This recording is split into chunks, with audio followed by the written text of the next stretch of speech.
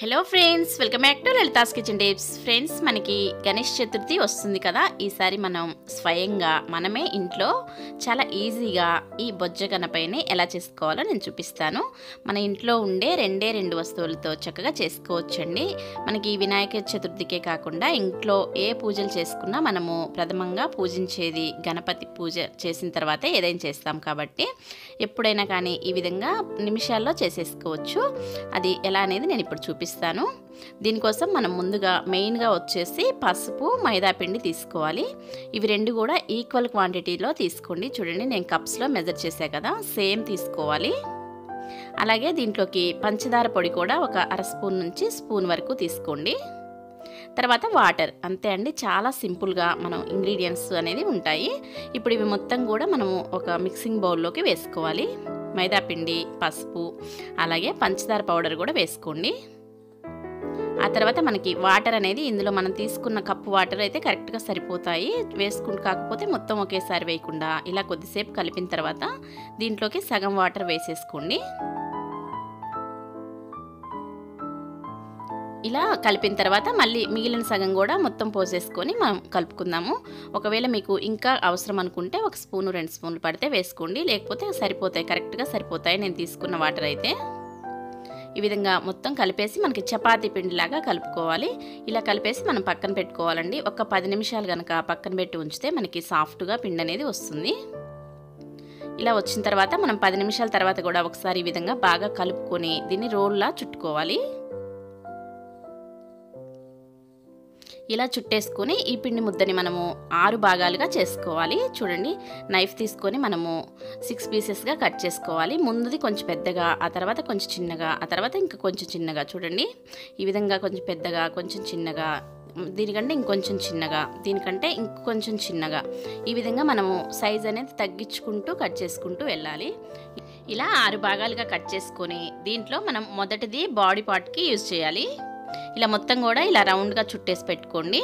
తర్వాతది మనకి బేస్ కోసం యూజ్ చేయాలి. తర్వాతది కాళ్ళ కోసము ఆ తర్వాతది చేతుల కోసము ఆ తర్వాతది హెడ్ కోసము ఈ విధంగా మనము చేసి పెట్టుకొని మిగిలినది కూడా పక్కన పెట్టేసుకోండి. దీంతో కూడా మనకి అవసరం ఉంటుంది. ఇప్పుడు మనం ఇలా ఒక డైరెక్ట్గా చేసిన దగ్గరే ఉంచాం కాబట్టి ఒక అట్ట ముక్క తీసుకొని అట్ట ముక్క మీద చేసుకుంటే చాలా ఈజీగా తర్వాత తీసేసుకోవచ్చు. ఇప్పుడు మనం ముందుగా తీసుకున్న ఒక బేస్ పార్ట్ తోటి మనం బేస్ అనేది ప్రిపేర్ చేసుకోవాలి. చూడండి ఈ విధంగా చేసి అట్ట ముక్క మధ్యలో పెట్టేయండి. ఆ తర్వాత బాడీ పార్ట్ కూడా ఈ విధంగా కొంచెం షేప్ చేసుకుంటూ పెట్టుకోండి. ఇలా పెట్టిన తర్వాత మనము కాళ్ళ కోసం తీసుకున్న ఈ బాల్లో నుంచి మనం ఈక్వల్గా కట్ చేసుకోవాలి. ఇలా ఎందుకు కట్ చేసుకోవాలంటే మనకి రెండు కాళ్ళు కూడా సమంగా రావాలి కాబట్టి ఈ విధంగా కట్ చేసుకొని ఇలా కొంచెం చుట్టేసుకోండి చివర్లో ఈ విధంగా మనకి కాలు అనేది షేప్ కోసం ఇలా చేసుకొని టూత్పిక్తో మనము ఇలా గీతలు పెట్టుకున్నట్లయితే మనకి కాల్లాగా కనిపిస్తుంది. ఫింగర్స్లా కాలుకి ఫింగర్స్లా కనిపిస్తుంది. ఇలా పెట్టుకోండి. ఆ తర్వాత ఇలా వెనక వైపు నుంచి ఈ విధంగా బేస్ పైన అడ్జస్ట్ చేస్తూ అమర్చుతూ ఈ విధంగా పెట్టుకోండి. కాళ్ళని సెట్ చేసుకోవాలి.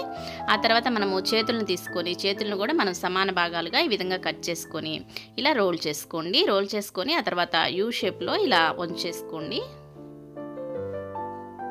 ఇప్పుడు ఈ పైనుంచి ఈ విధంగా నేను వీడియోలో చూపిస్తున్నా కదా ఈ విధంగా చేసుకొని ముందు మనం ఒక చేతిని లడ్డు లాగా లడ్డు పెట్టడానికి ఈ విధంగా ముందుకి ఇలా చేయండి చేత్తో తర్వాత ఒకటి అభయహస్తం కోసం ఈ విధంగా పైకి వంచేయండి. ఇప్పుడు మనం టూత్ పిక్తో చేతులకు కూడా ఈ విధంగా ఫింగర్స్లా కనిపించేలాగా లైన్స్ పెట్టేయండి. ఆ తర్వాత లడ్డు కూడా చిన్న లడ్డు ఒకటి చేసి పెట్టుకోండి చేతిలో. ఇప్పుడు మనం టూత్ పిక్ ఒకటి తీసుకొని మనం హెడ్ కోసం చేసిన బాల్లో ఇలా కుచ్చేసి ఇలా బాడీ పైన కుచ్చేయండి. మనకి హెడ్ అనేది ప్రిపేర్ అయిపోతుంది. మనకి చాలా రోజులు ఉండాలి కాబట్టి ఇలా టూత్ పిక్ పెట్టుకోవాలండి. లేకపోతే పెట్టకుండా కూడా చేయొచ్చు. ఆ తర్వాత మనము ట్రంక్ అనేది ప్రిపేర్ చేసుకోవాలి. కొంచెం పిండి ముద్ద తీసుకొని ఈ విధంగా కోన్ షేప్లో ఒత్తుకొని ఇలా మనం హెడ్ పై నుంచి ఈ విధంగా తడి చేస్తూ ఇలా ఒత్తుకున్నట్లయితే చక్కగా ఊడిపోకుండా ఈ విధంగా అమరిపోతుంది. ఆ తర్వాత మనకి తొండం అనేది చివర్లో కొంచెం మెలతిరిగి ఉంటుంది కాబట్టి ఇలా తిప్పేసుకొని మనము దీనికి షేప్ అనేది చేసుకోవాలి. ఆ తర్వాత చెవుల కోసం చిన్న చిన్న బాల్స్ని ఇలా బొటన వేలుతో ఒత్తేసుకొని అటు ఇటు పెట్టుకుంటే చెవులు అనేది కూడా రెడీ అయిపోతాయి. తర్వాత మనం కిరీటం లాగా త్రీ ఓవెల్స్ లాగా చేసుకొని మనం ఈ విధంగా పైన పెట్టేసుకుంటే మనకి కిరీటం లాగా మనకు కనిపిస్తుంది. తర్వాత చిన్న టూత్ పిక్ ఒకటి తీసుకొని మనము నామాల్లాగా ఇలా పెట్టేసుకోవాలి. ఆ తర్వాత మనము తొండానికి కూడా కొంచెం ముడతలుగా ఉంటుంది కాబట్టి ఇలా చేసుకోండి. ఇప్పుడు చెవులకు కూడా మూడు నాలుగు గీతలు ఈ విధంగా పెట్టుకోవాలి టూత్పిక్తో. మిరియాలు తీసుకొని ఇలా కళ్ళులాగా పెట్టుకోవాలి. ఒకవేళ మిరియాలు లేనట్లయితే లవంగ మొగ్గలతో కూడా పెట్టుకోవచ్చు. వైట్ థ్రెడ్తో ఈ విధంగా జంజం కూడా వేసుకోండి. ఇప్పుడు ఈ నామాల్లాగా పెట్టేసుకొని కొంచెము గంధము పసుపుతో మనం బొట్టులాగా పెట్టేసుకొని అలంకరించుకోవచ్చండి. ఇప్పుడు మనం దంతాలు కూడా అమర్చుకోవాలి. వినాయకుడి దంతాలు అనేది ఒకవైపు షార్ప్గా పొడవుగా ఒకటి విరిగి ఉంటాయి కదా. అలా టూత్ పిక్ తీసుకొని మధ్య కట్ చేసి ఇలా రెండు వైపులా కూడా పెట్టేసుకుంటే మనకి వినాయకుడు రెడీ అయిపోయింది. ఇప్పుడు మనం అట్టముక్క పెట్టాం కాబట్టి ఈ విధంగా ఈజీగా మనం ఎక్కడికంటే అక్కడికి తీసుకోవచ్చు. ఇప్పుడు మనము మూషికము కూడా రెడీ చేసుకుందాము. గణపతి ఎక్కడుంటే అక్కడ మూషికము ఉండాలి కాబట్టి ఈ విధంగా పిండి ముద్ద చిన్నది తీసుకొని ఇలా రోల్లా చేసుకొని తోకలాగా ఒత్తుకోండి.